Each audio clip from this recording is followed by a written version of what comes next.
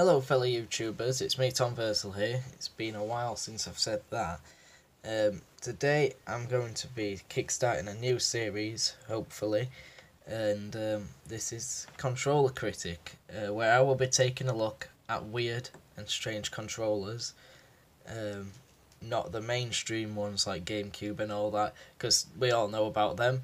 Just going to look at some quirky, weird ones, and in episode 1 I've decided to pull out the game stick. Now, this my version of this controller, or well, my controller looks dirty as hell with the thumbsticks, and that's because as a kid, or well, at least when I got it, I like coloured it in with blue felt tip pen, and it's made it go all yellowy and stuff. But never mind that see the blue ink that I coloured it in. I don't know why.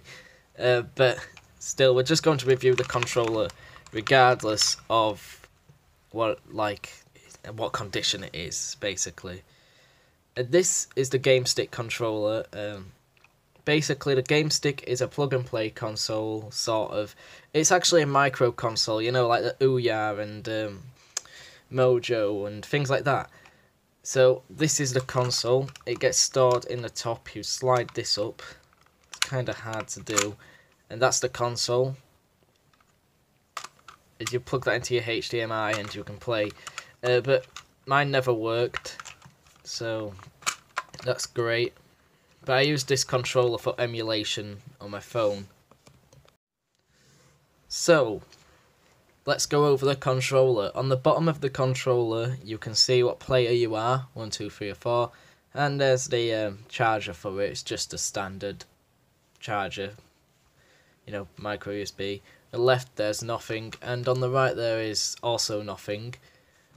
On the back, you've got the slide, uh, some information about it. It's got a really horrible foamy feel, like a rubbery feel. The rest of it's nice plastic, like a Wii controller, but this bit's horrible. Um, I don't know why they decided to do that. And that's why this is all yellowed and got pencil all over it and ink. Yeah. And on the top, you've got the console itself. The console does need a supply. And, um, sorry for a jump cut. My dad shouted again.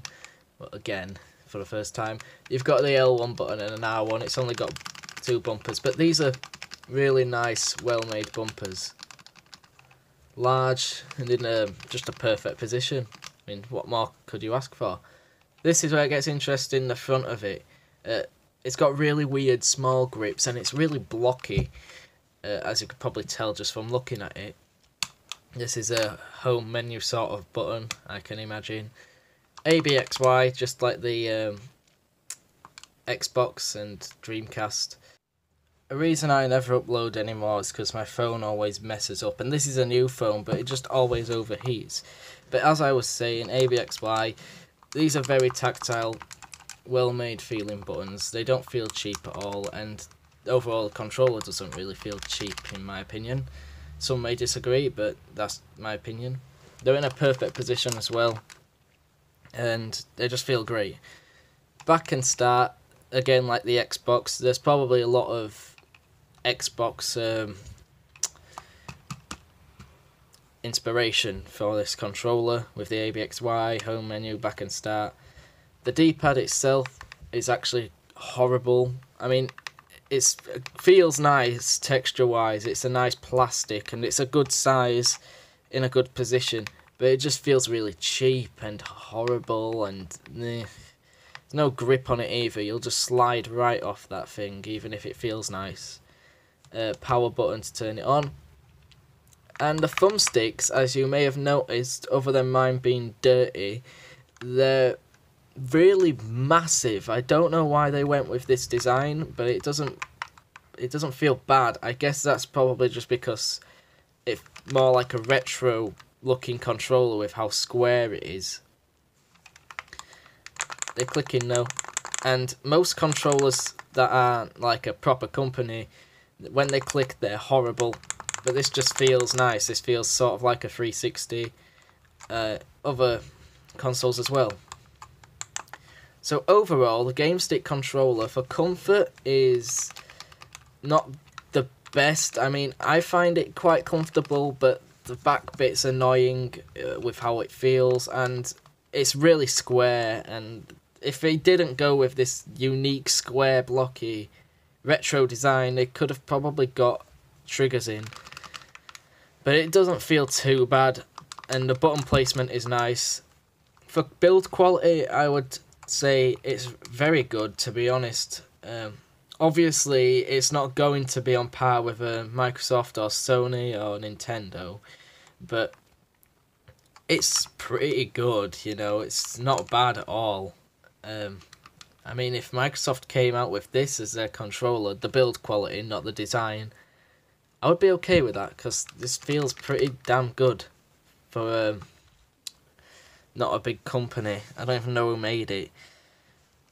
And of course, what would I rate this controller? Probably about a 5 out of 10. It gets some things right, some things wrong. Um, and I never got to use it in action, so I can't say how responsive it is. But when I was using it for emulators, it was very responsive, worked very well, and it's comfortable. It's quite retro.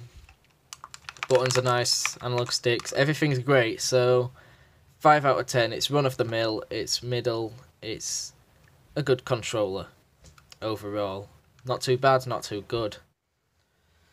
So, um, I'm just showing my face because you might not watch my second channel and you might want to see me. I don't know. It might. I don't know. Um, thank you for watching this first episode of Control Critic on the Game Stick controller, um, and hopefully this becomes a series. Uh, stay epic.